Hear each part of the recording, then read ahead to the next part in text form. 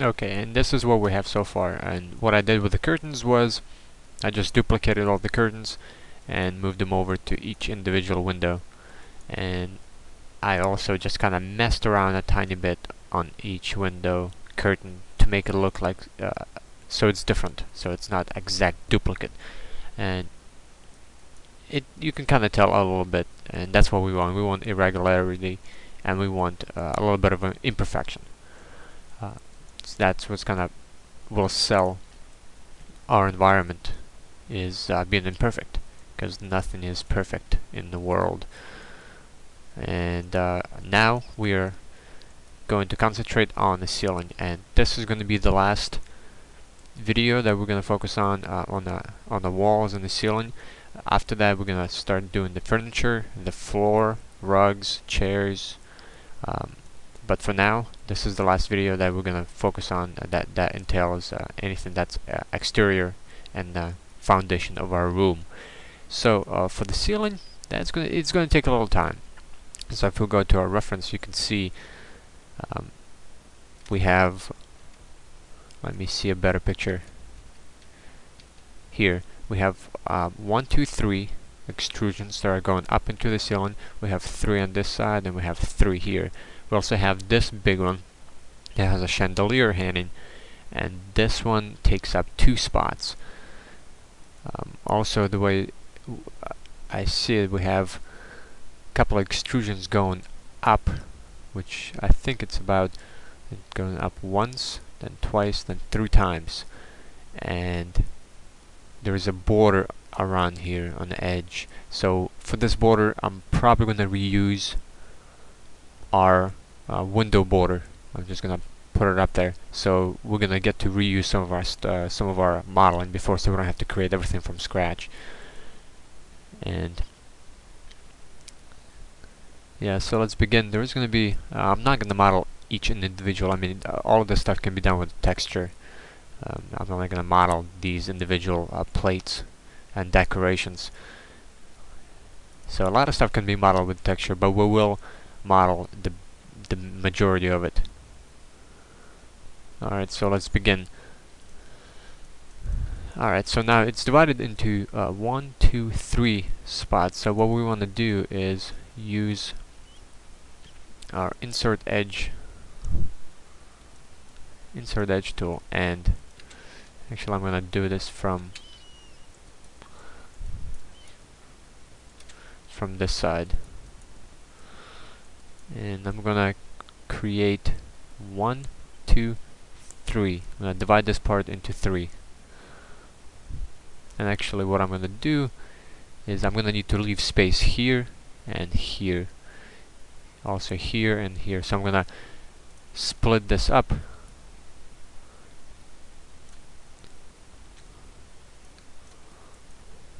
One here. One here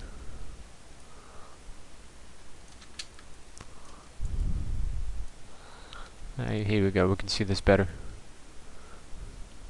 It's one. That's two and that's three.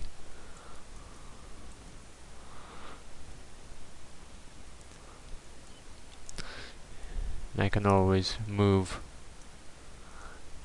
my border edges that I created and get a sense of better scale. I'm gonna need to move this one out of the way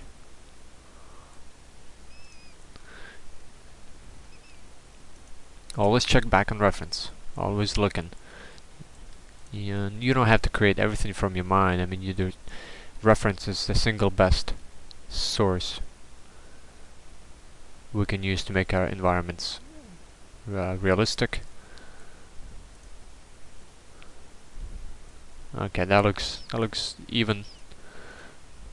Now if I wanted to be more precise then I would create a new plane and subdivide it into so many uh, spots so I know it's exactly even but for for this particular tutorial um, we're not creating an exact exact replica.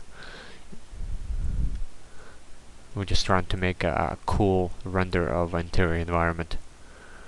So that that looks that looks good. Now I'm gonna do the same thing going across. So going back to reference. One yeah, so one two three Alright, let's do our best and split it this way so we're gonna go once here let me see again seems like each one of these lines up with the window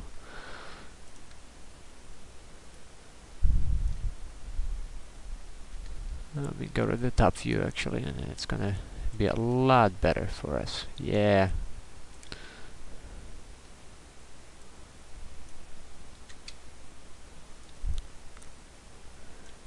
Second one here. Third one here.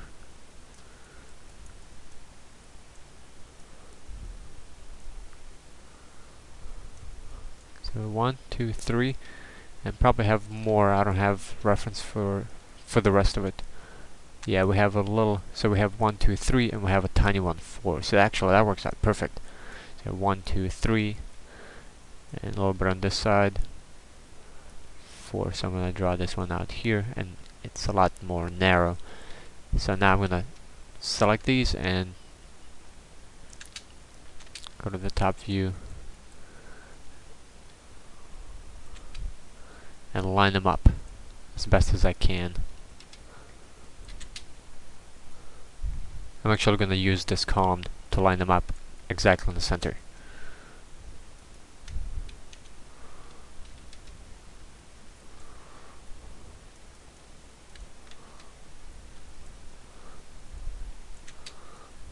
Okay, and that looks pretty good. So let me see. That looks that looks very good. Maybe I need to uh, move these guys a little bit more over. And this.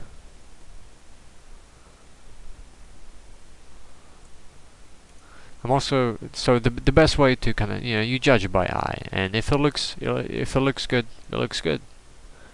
Yeah, since we don't have reference and exact dimensions for it, yeah, by eye is gonna have to be good enough. Plus, it's a good practice to start kind of visualizing and judging things by eye, especially scale, mass. I mean, when you do uh, when you do your figure drawing, you know, it's pretty much you you rely on your eye and on your sense of perception and judgment to kind of get the scale of the figure right. So I mean, that's what we're doing here. And right now, to me, that looks pretty good. So now what we're gonna do is select each one of these and start scaling them in. So we have the foundation of the ceiling blacked out. I'm gonna save and delete uh, history on this. Now we are going to work on extruding our ceiling and making uh, making these uh, extrusions up. Let's begin by going to our faces and selecting the ones that we are going to extrude. I'm going to leave these two uh, by themselves. I'm not going to do that the inner side just yet. So I select the ones that I want to extrude individually and uh, important thing here is we're going to extrude them up but we want to do them uh, by themselves. So make sure you have polygon select here, you go to mesh and make sure this is checked off. Because if it's checked on then it's going to do all of them at once but we want this off. Now select extrude and begin scaling them in. And now they're all individually scaled in.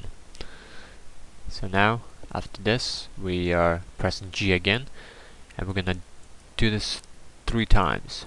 We're gonna extrude it up, not too much. Then we're gonna press G again, and we're gonna scale them in one more time. Press G again, and put, scale it up. Actually move it up. And we'll do this one more time. Press G again. Scale. And G. And move it up. And a little bit higher than the ones before so now we created this little step progress going up and do the same thing for the inner select these two and now we want to keep the faces together. Extrude. Now we want to scale this once. Press G. Scale it up. Let me go to the side view to make sure that it's scaling the same way. Press G. Scale it in. Press G again. Scale it up.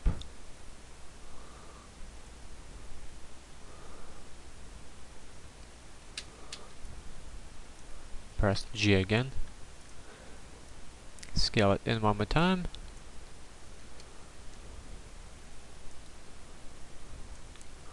And last extrusion up and scale it up. Object view and now we have our ceiling all sexied out. Let me look at the reference really quick. Yes, yes, yes, looking pretty good. And we're gonna do our borders by duplicating uh, already created uh, window borders that we have and make some decorations for it. We also have this strip going down so we'll probably actually use uh, the, the wall columns that we have and add that up there. So we have uh, nothing here. One, two, three. Alright, so let's do our uh, column first. Create select the column, duplicate it. Now we want to rotate it and then we want to rotate it this way down. Negative 90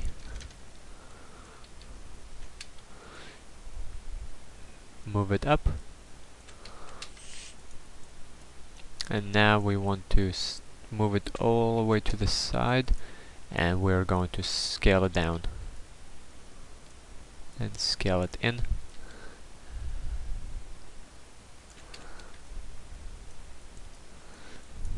And move it up more a little bit more.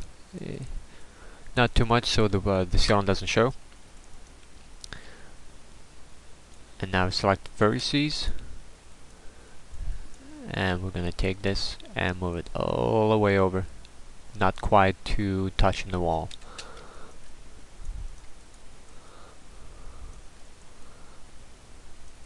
and we're gonna take this we're gonna duplicate it move it over and go to our uh, front view and make sure it's in between these two extrusions. And we're gonna do it one more time.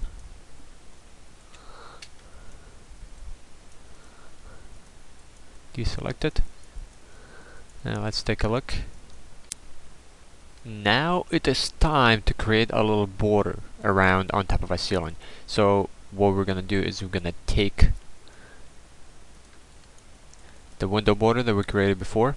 We're going to duplicate it and move it up and rescale it and remove the, uh, our vertices to match the top of the ceiling. Then we're going to do the same thing for this edge and this edge and then we're going to group them and duplicate them for all the rest of the geometry on the ceiling. So it's going to take really quick. It's, so it's a bit time consuming but it's it's fast that we don't have to recreate uh, the borders. So always reuse as much as you can to save time and uh, you know eventually you're really saving money and you'll have free time to do other cool environments so let's us select the border press uh, control D to duplicate it so now uh, we're gonna rotate along Z rotate it down and now we want to move it up now I don't want to rescale because uh, what rescaling at this point does, it uh, unless I do it together, it'll hold the dimensions. But if I do it side to side, see it stretches out our borders, and we don't want that. Yeah, so we don't want uh, we don't want to do that. So what we do want, well, first let's move it up to where we need it, and then what I want is select the vertices, and I'm going to move individual vertices to the place that I need them to go.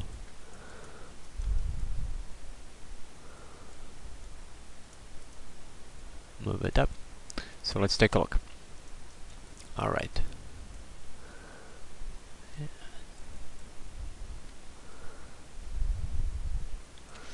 And I need to do something from the side.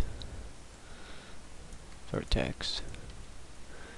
So basically I'm moving them over so we don't see that border and also I'm gonna be moving them up. So so the reason I'm moving them up is I want our border to cover let me show you I want I want to cover over this uh, this edge so I'm moving it up and I want to move it up while seeing that little bevel so I don't want to put it too much up. Alright I think that's good. Yeah that looks pretty good. Now what I want to do is I want to duplicate it again move it up and scale it uniformly. Scale it in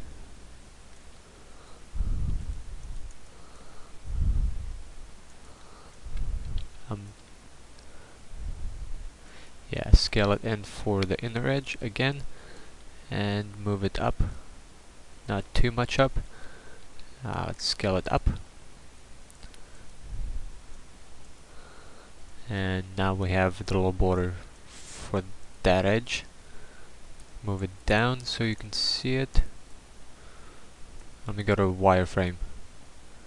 X-ray. Yeah that's a little bit better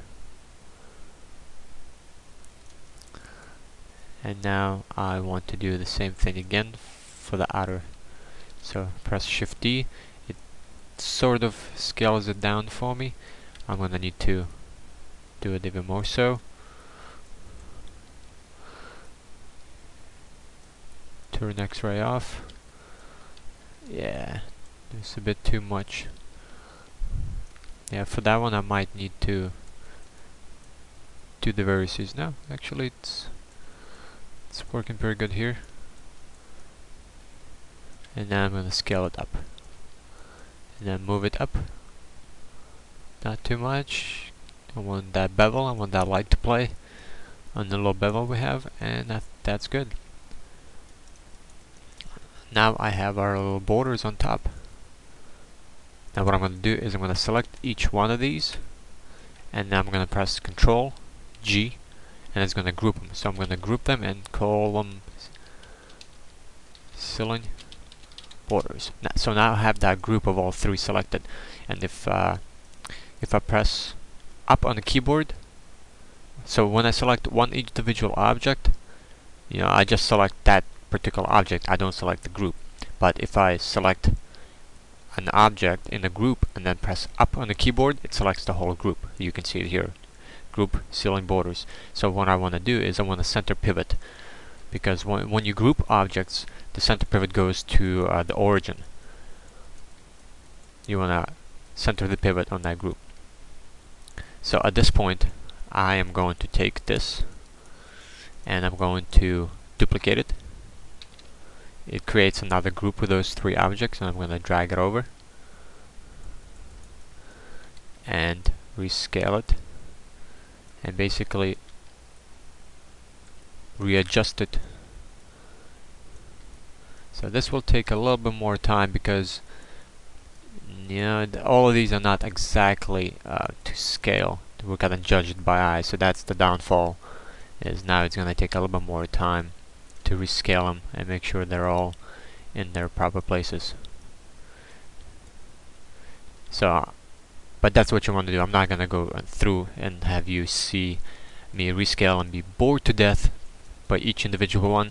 But what I'm gonna be doing is, uh, by the time we come back, is I'm gonna have all these placed in single one of these extrusions with the border scaled properly. So go ahead and do that, and uh, I'll see you next video.